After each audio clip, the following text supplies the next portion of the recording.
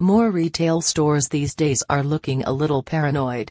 There are cameras and mirrors everywhere, employees counting your items, sensors the size of your head attached to clothing, and security guards making you feel like maybe you should apologize for entering the place. But a recent video of three women scooping up nearly $10,000 worth of clothing from Lululemon might give you a clue as to how all that surveillance can be useful. Not that cameras actually prevented the women from placing 148 pairs of leggings in their bags and walking right out the door and onto the streets of Fresno, California, on Sunday. For me, I was just shocked, and I froze. Christine Brown, a yoga teacher who was at the store, told ABC affiliate KFSN. She says the women calmly walked to the back of the store, stuffed leggings into their bags, and calmly left. Just after the story broke on Tuesday, the same women allegedly returned to the same store and stole again. Employees took no action, because the store's policy instructs them not to chase anyone who's left the store but the manager of a nearby business managed to wrestle away one of their shopping bags. Police were astonished by how bold they were, but they also suspect this is part of a string of 15 Lululemon thefts that have occurred this month. These legging bandits are just the latest in a decades-long history of big-time shoplifting.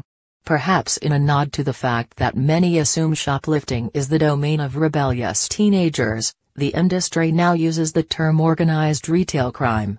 Law enforcement first started noticing this as a serious problem back in the 90s, as this Washington Post article from 1995 indicates.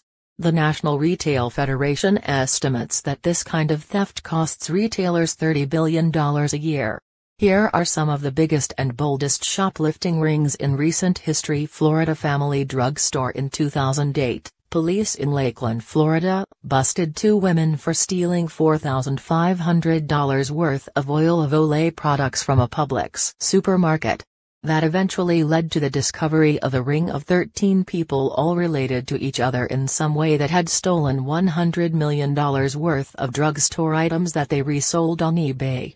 We buy overstock, discontinued and shelf pull items by the case or pallet, said their seller's profile according to the Ledger. Victoria's Secret discovered pursuing what Michigan police initially thought was a meth-producing operation eventually led them to a well-organized warehouse packed with merchandise from drugstores and $3 million worth of Victoria's Secret items in 2014.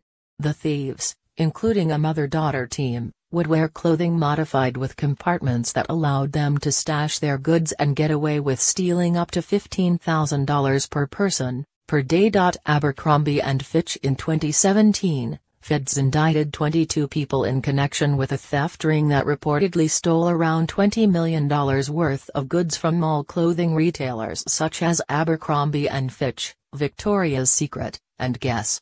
Thieves would use booster bags, which are lined with material that blocks security sensors, to steal from stores across the country. The ring had allegedly been operating since 2005 and was reselling the merchandise in stores in Tijuana, Mexico. Geek Squad foiled in 2017. New York investigators took down a ring that was using high-tech methods to steal $12 million worth of electronics from stores like Best Buy, Home Depot, and Staples on Long Island. The thieves wore special vests, had devices that disarmed security alarms, and listened to store security personnel with shortwave radios. After they pulled a job, their boss would sell the goods on eBay and Amazon. Makes you wonder about those great deals you find online. None of these crimes justify the kind of racial profiling many have reported experiencing in retail stores. People of all races have been pulling off these huge crimes. Read more from Yahoo Lifestyle.